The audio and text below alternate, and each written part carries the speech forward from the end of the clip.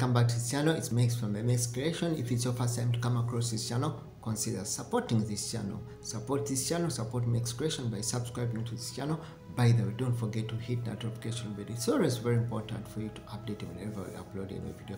Don't forget to like the hit uh, check on my tiktok account still at mex creation where we have the latest updates around qatar the latest news updates.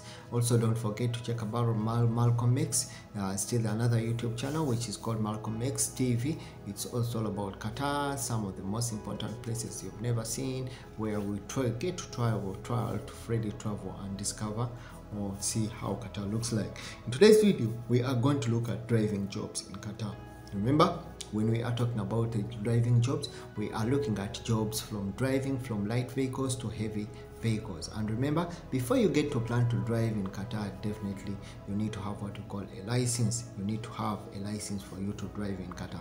And not every all professionals allowed to drive in Qatar because uh, so, because if everyone was allowed to, to have a car, everyone to, have a to drive a car, then probably uh, it will have a lot of congestion. That I think that is the reason behind that. Very few professions, depending on your visas, that are allowed to drive in Qatar in that case. So in today's video, we are also going to look at what we call the requirements. What are you supposed to have requirements if you're planning to come as a driver or if you're planning to, to be a driver in Qatar. One of the requirements is supposed to have a passport.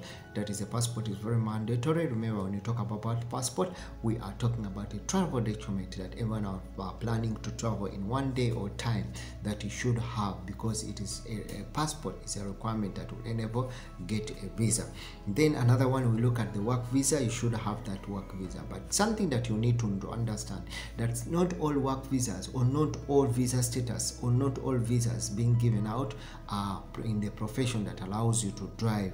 In in this case, if you are going, definitely going, going to, you are thinking of having a career in driving, then probably the only thing that you need to have is to come on what you call a driver's visa. You come as a driver strictly. Your visa should come as a driver. Then probably in that case, it will be a little bit very easier to get what you call driving license. You know what the other. Then also number three is that you should be medically fit, which I always talk about. Medical fitness is very important because it will test your life in one way the, the, it will test you how physically you can how fit you can be to work in these Gulf countries. Remember, when you have one medical fitness in your country, you will definitely have a second medical fitness when you come to Qatar. And remember, when things go bad, when things don't work out the way they're supposed to work out, definitely your sponsor will have to deploy, will have to uh, to deport you back to your country of origin in one way or the other. And something still I want to tell you about medical test. Don't remember, don't forget to what to take what you call an eye test. An eye test, you remember, is very important. And most of the time, an eye test is they give what you call a certificate to show that you can drive and your eyesight is properly very good. For any relevant dog education certificate, if you have it with you, you can move around with you. Remember, sometimes you don't have to limit your chances or you don't have to limit your opportunities.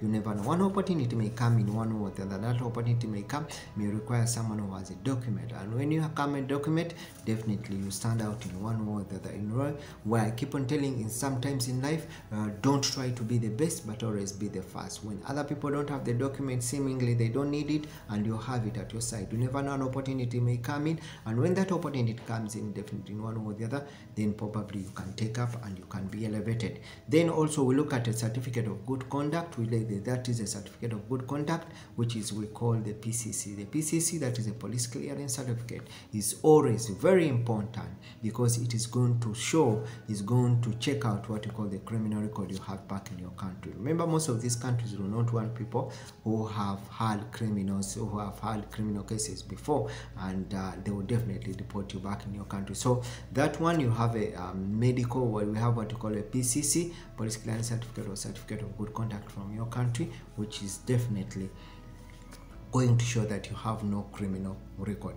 Then still also we talk about the height the height um, the height of um, a driver in qatar. Uh, it is around inch 5 feet 6 inch and for female it is 5 inch to 12 inch. Remember when we are talking about drivers we are not meaning only the male they are also what you call female drivers. We are also called female drivers in qatar. And definitely the job goes all around and that's the all requirements will definitely all the requirements will, will be applicable to both of them.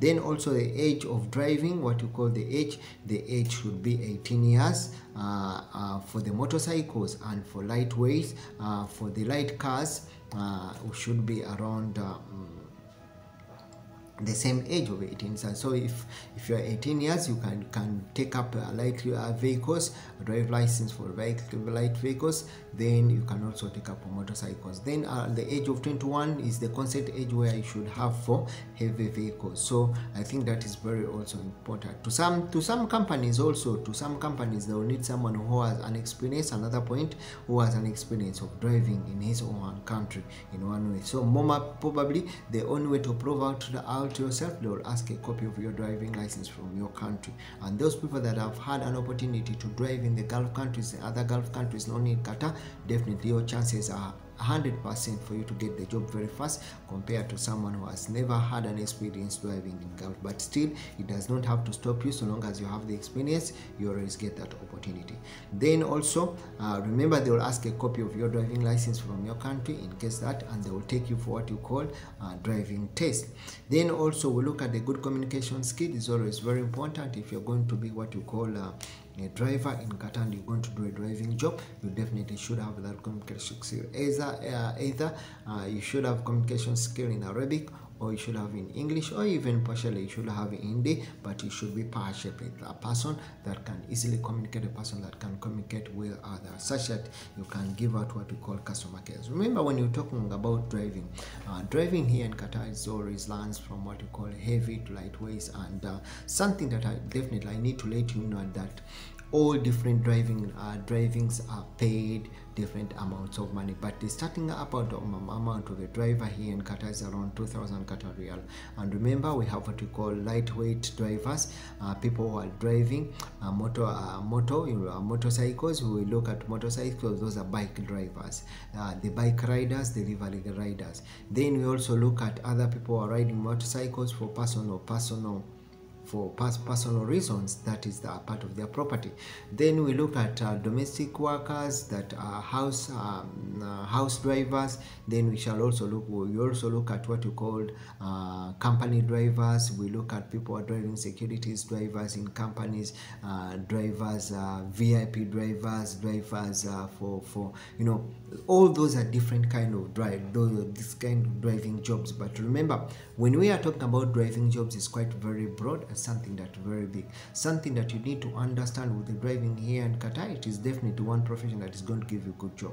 It's going to give you good work and it's going to give you enough time to maneuver and rest. Otherwise something still you do not have to get out of it all that you do not need to drive carelessly. Because when you drive carelessly definitely you know there's a lot of cameras and you get those penalties. But it's one job opportunity that you can take up when you take up the driving uh, driving uh, job it will give you another option. It will give you too much option in case you after you get that li license and in case you want to change.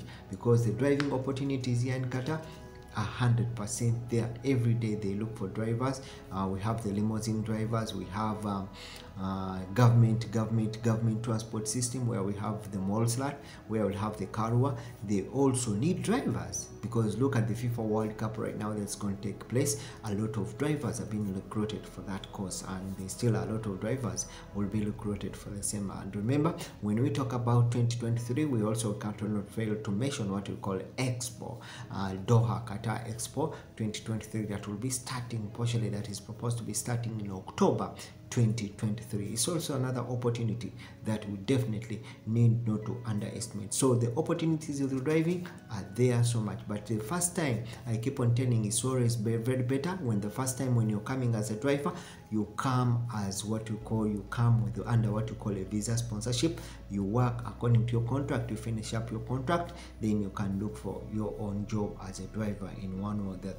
And even it becomes very easier for you to access when you have that visa as a driver you can have the license with you other than coming uh, in another profession. It becomes very hard for you to get what you call a driver's license. So you find that some of those requirements that i've given you that i've mentioned above they will enable you get what we call a driving license or enable you get what we call a job uh, having a job here in Qatar very fast for that course. Hope I've tried to share up something for you. And remember it's Max from the Mex Creation see you again in the next video as we're trying to see more of these interesting stories. Thank you so much. See you again in the next video. It's Max from the Mex Creation